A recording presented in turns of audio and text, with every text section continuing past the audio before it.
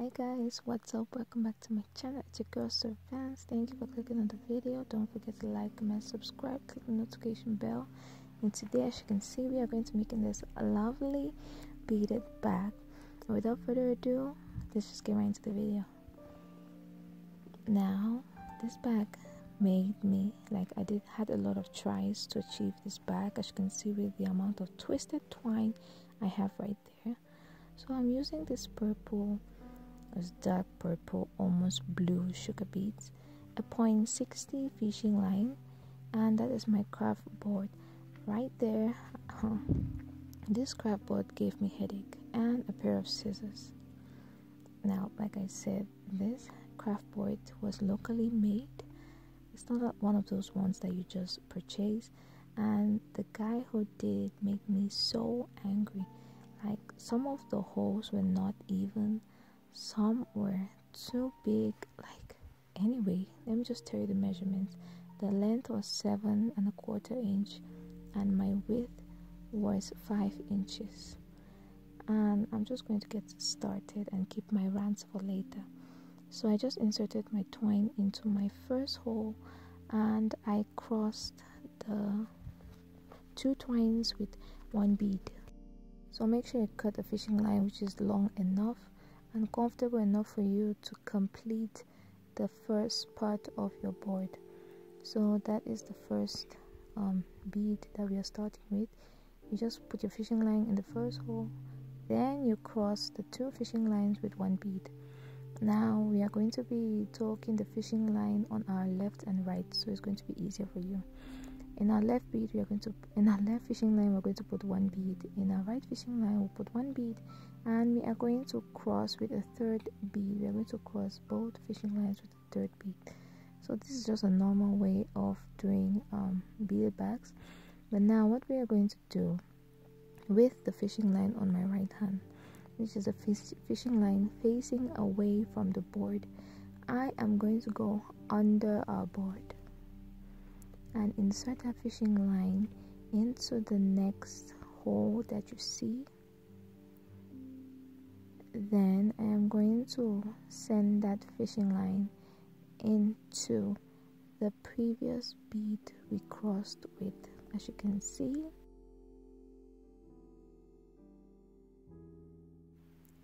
So yeah you just cross it. Like my fishing line was really long but I prefer to suffer with a longer one at the beginning than to cut more while I'm doing it because it's not going to look good. You're going to lose the tension in your back if you use too many fishing lines at the start. So I'm just going to continue one bead in my left fishing line, another bead in my right, and now we are going to cross with a third bead. So this is the method you're going to use to connect your beads to the craft board.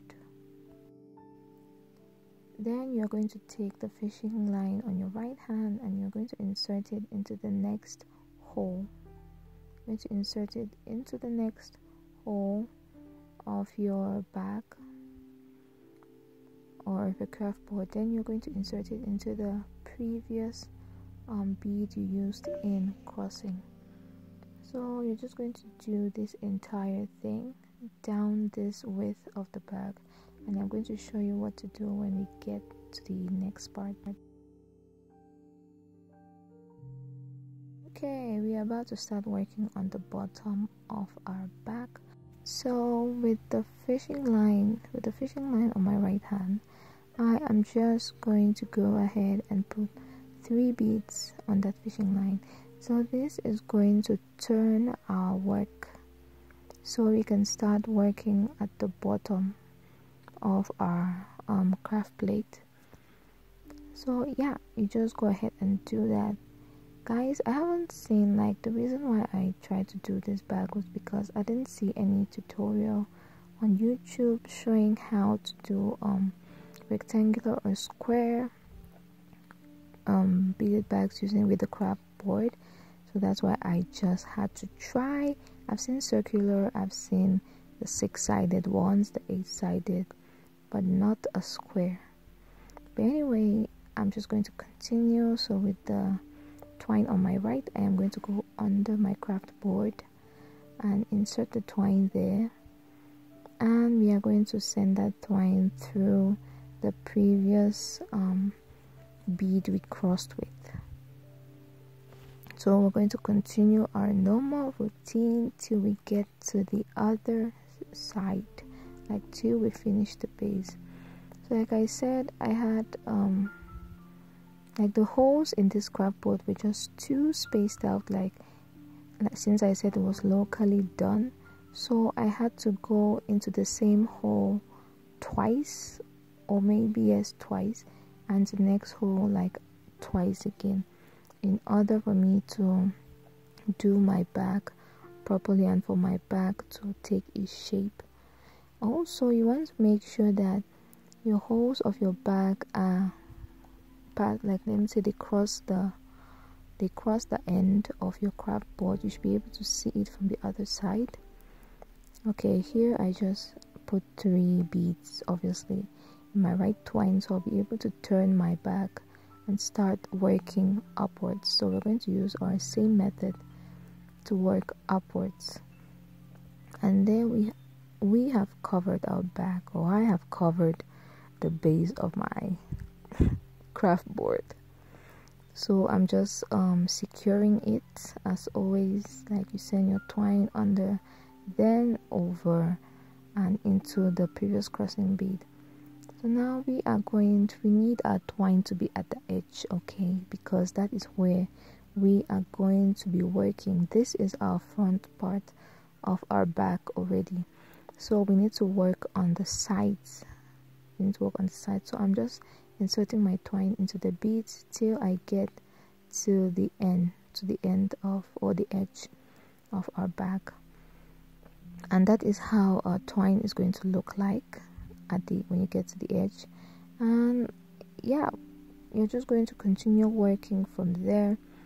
I'm going to that yeah you can pause the video and look carefully. You can see two twines going into the same hole. Like i was so mad at this craft board but i'm so happy that it worked out in the end. So um we're just going to continue. I just put my torch or you just need something to support so you can be able to do your work properly. So I picked up three beads on the twine on my left. Then I cross with the third bead with the twine on my right. So this is going to turn our work and we are going to start working downwards. Guys it's so hard not to say crochet or row like i am so used to doing crochet videos and it feels like i haven't done a beaded video in a minute but i, I just hope you all will understand.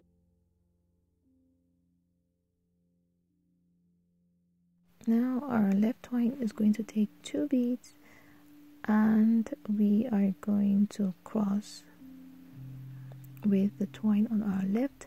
So there we have it and our white twine our right twine is going to go into the bead closest to it.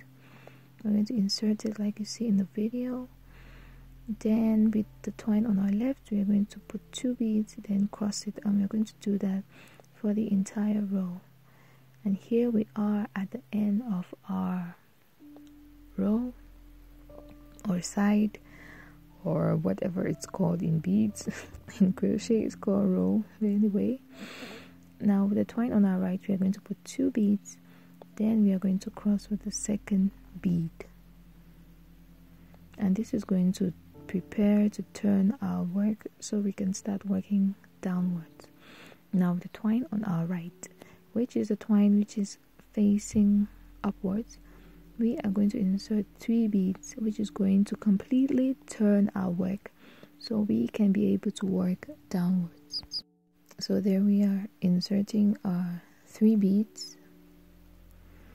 Then we are going to cross with the third bead.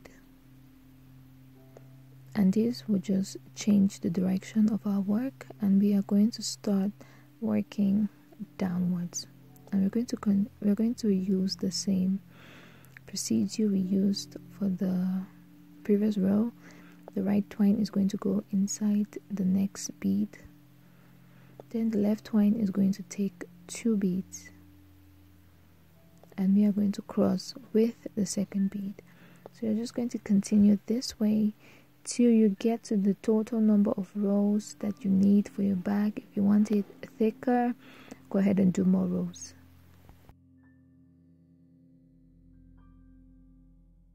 okay so here I am. I'm done with um the back so I had two rows each on the craft board. As you can see this craft board I think it had eight the other one had seven. I was so mad but I still made it work somehow. Like make sure your craft board if you want to do it locally make sure your craft board is even okay? You need it even. Okay um now we are just going to join the craft board like I said you can add more rows if you want the bag to be bigger or thicker. You add more rows of beads. Now um I'm just going to join the bag which is inserting one bead into the like I had some previous twine in the other craft board.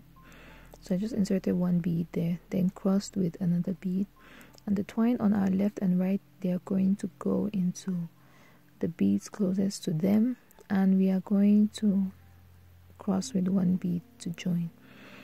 And you're going to need to do your entire work very firm. You need to be careful not to break your board but you need your work to be firm. So pull that twine. Pull it so hard so your back can stay firm. So this is our back after joining look at how pretty it looks. Anyway i lost the clip on how to do the rest of the back but i'm going to show you for my previous for my other video. This is another video that I did for the um, bag so all you need to do is to make a twine a long twine join it together and insert many beads inside. It doesn't matter the color or the shape this is going to create our handle. As you can see I used um, black. I used um, black beads for the handle and make the handle as long as you want. So here I'm just doing the satin for the handle. If you want to see let me see a clearer video. If I don't explain well just check out my other video of this bag. So I just tacked it or sewed the satin. The satin is about um, a hundred um, 100 centimeters in length then 7 inches in the width. So I just tacked it like so. Then I flipped it inside out using one of my paint brushes.